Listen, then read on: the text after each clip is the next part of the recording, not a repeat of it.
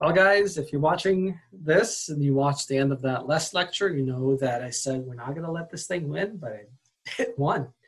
It definitely won. So uh, feel free to disregard the last three or so minutes of last lecture when I was battling um, technological issues. Um, tech issues seem to be the name of the game this semester, so we're just going to do the best we can.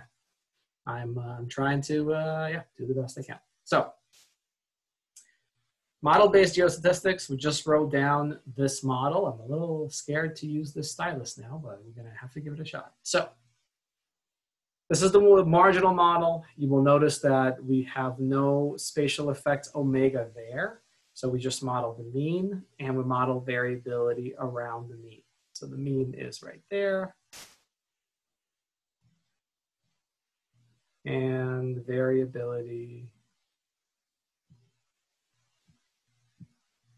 around the mean that is allowed to be spatially correlated as a function of our spatial correlation function.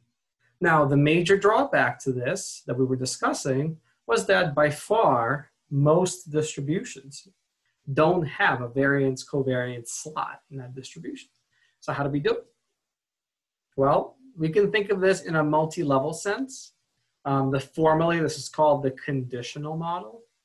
That's when you take a two-step approach.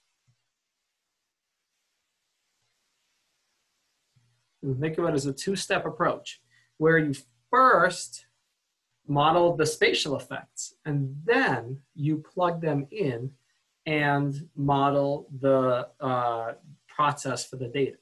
Right? So this, what you actually observe is the data, not the spatial effects but you break your modeling exercise into two steps. So first, we model just the spatial effects. You will notice that, that this process is mean zero. And you will notice that there isn't a nugget here, right? There's no nugget.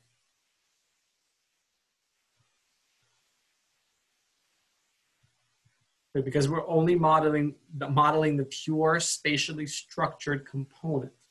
But then we modify the means with these estimates right here.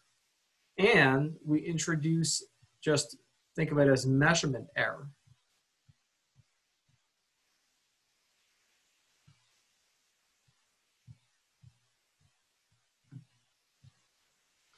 So everything's structured, spatially structured, modify the mean and add some random measurement error around it. That is the conditional approach or multi-level approach, if you will. So the benefits to this, the major benefit is we can use distributions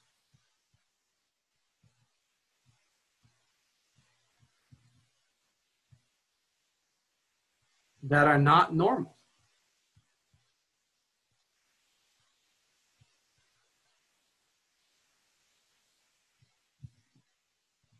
In level one, all we have to do is plug these spatial effects into the mean of any distribution and we're going to have a spatially correlated outcome. We can model a spatially correlated outcome. The drawbacks to this, we don't observe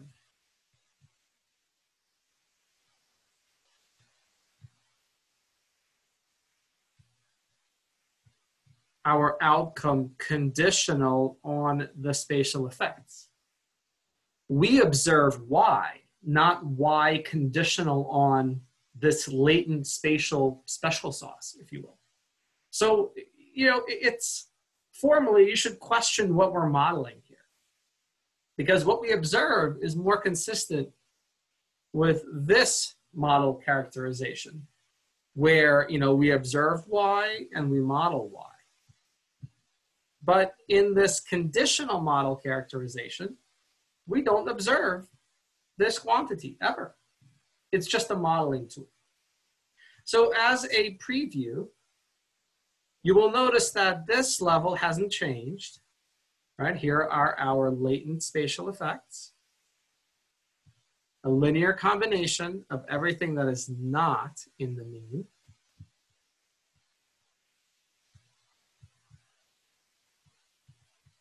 And then we take our spatial effects and we modify the mean of the Poisson distribution. Now, this is key because the Poisson distribution does not have a variance covariance term. It only depends on the mean, the Poisson distribution does. So we first model our spatial component and then we incorporate it directly into the mean. And so we were basically um, the means are correlated. That is different than saying the data is correlated, right? Because here the means are correlated. Okay, we'll see more examples of these non-normal spatial models later in the course. Now let's just for a few minutes begin talking about spatial correlation functions. Now this section, I admit, can be a bit dry because it's kind of like going to the zoo where oh, there's that animal, there's this animal, there's that animal doing this. Um, I feel like I, I want to show you uh, a few important ones because they are a part of any spatial model. So all of these spatial effects will have this kind of form. It'll be a function of the distance matrix H, and theta will be a set of parameters that control how quickly correlation decays as a function of distance. These will be either one or two parameters. Um, I don't remember, I don't think we will ever get to if there's three parameters. So the other difficulty is that these parameters, these spatial correlation parameters, can be tough to interpret directly, very difficult to interpret directly. So sometimes you will see this referred to as a range parameter, but do not confuse that with the range. So range parameter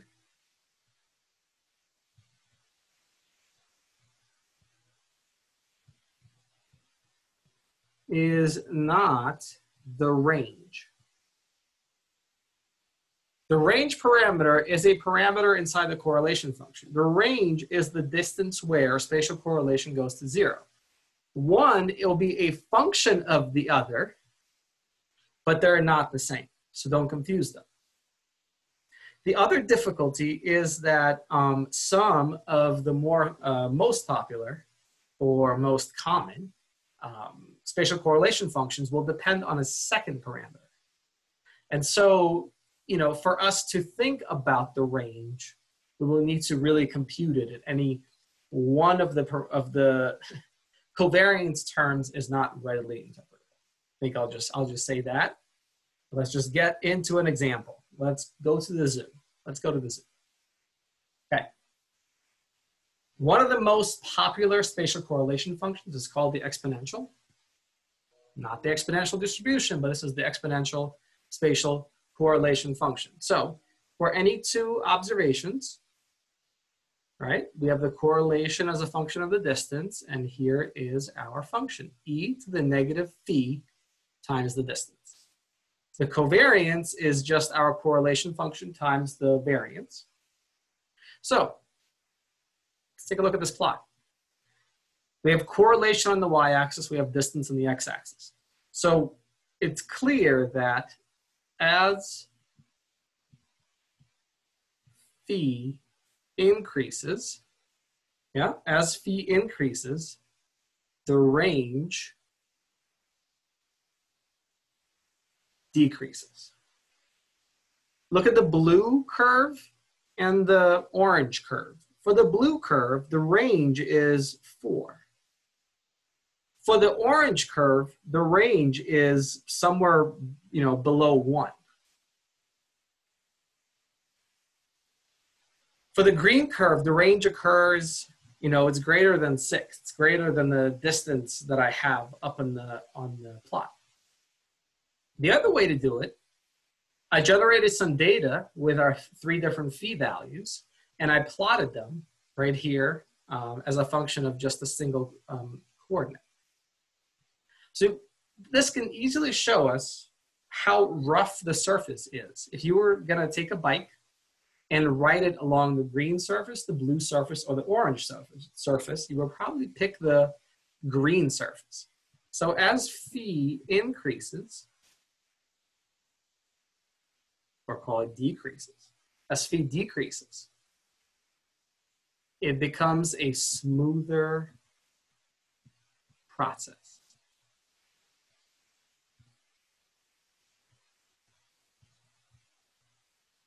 So smaller phi, more spatial correlation, a greater degree of spatial structure in the data.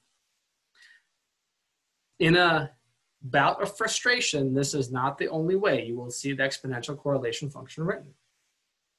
You will also see this in some books, in some articles, in some blogs. Will also see the spatial correlation function written like this. So clearly, if depending on how it's written, as negative phi times something or negative 1 over phi times something, these identities are going to flip. The other way it's written, and it will become clear to us why next time, sometimes it will have a 3 in there.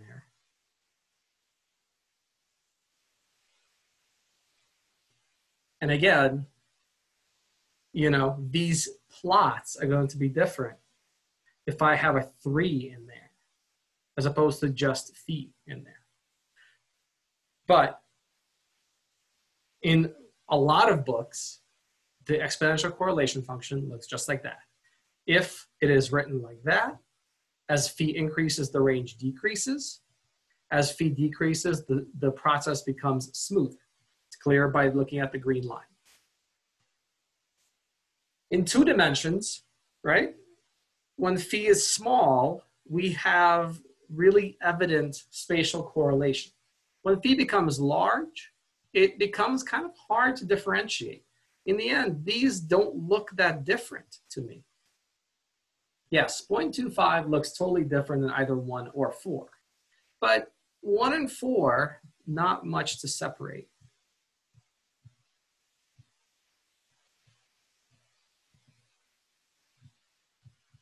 Not much to differentiate. All right, I'm gonna go ahead and uh, cut differentiate off as diff. Okay. And of course, with 0.25, this looks like a smoother process.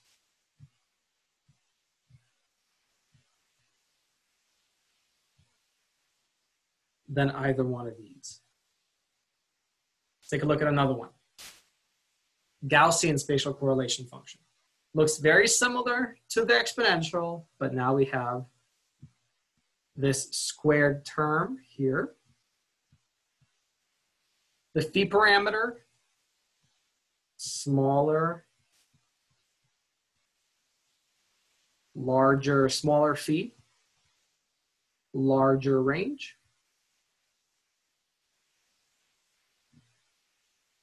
But again, phi is not the range. Phi is not the range. Right? The range for the green line is bigger than the range for the orange line.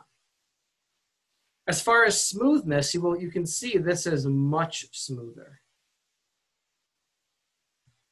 than the exponential.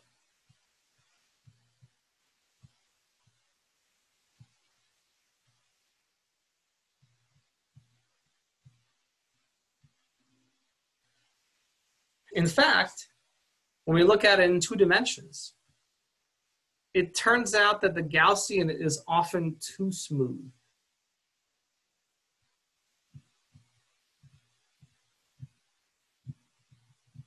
It's often too smooth to use in most applications, to be honest. That's why you will see the exponential correlation function used more often.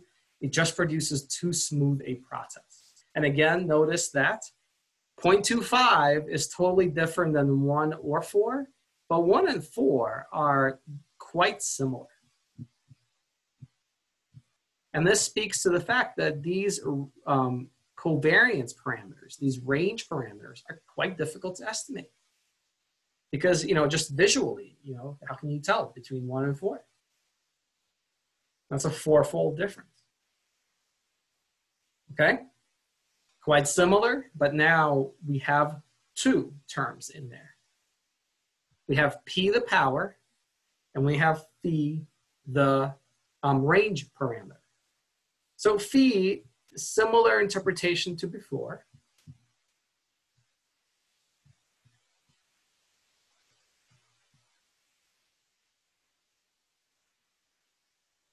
And this p power parameter, it basically um, chooses between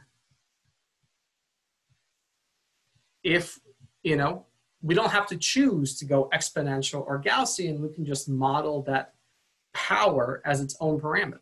So it helps us choose something between exponential and Gaussian. To be honest, not very common.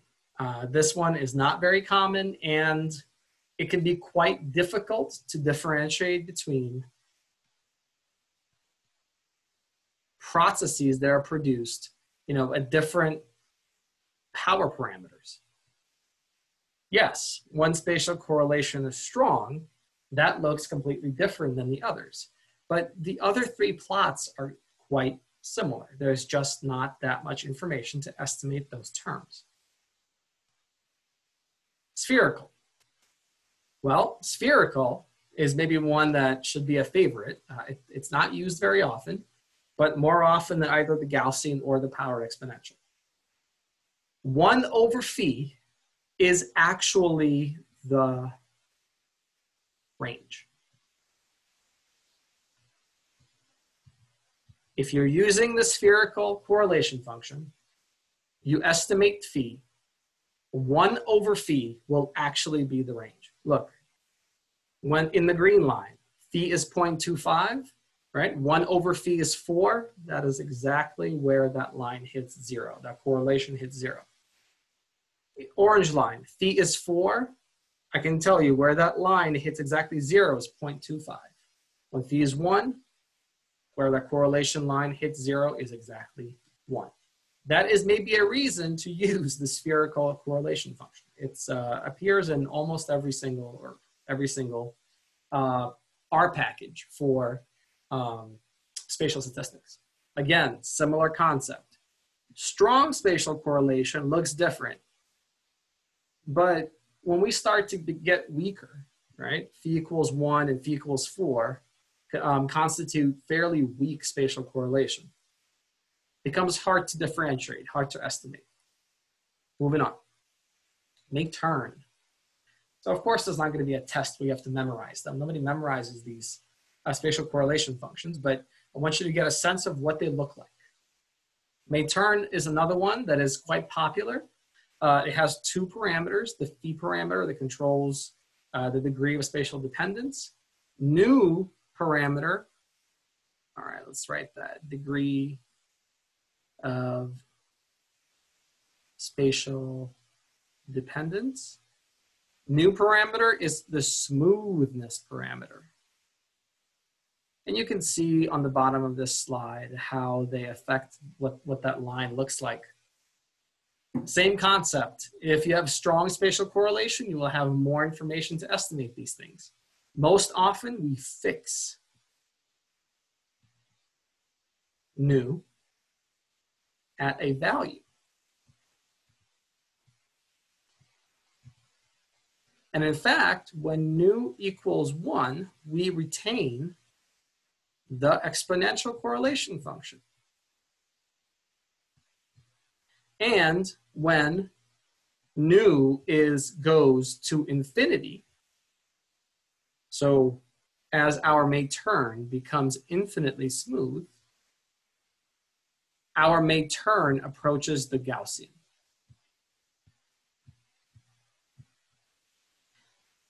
You know what? This thing has won today because we have looked at a number of these spatial correlation functions. We have a couple of more uh, maybe the most interesting ones are coming up. So on that cliffhanger, I will call it quits for today. Um, I will see you guys next time. Thank you for putting up with the tech issues. Um, I hope you guys are well.